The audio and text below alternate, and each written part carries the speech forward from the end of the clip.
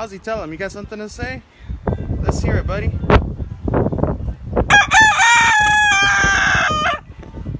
See, all you gotta do is press the little button right here that they got.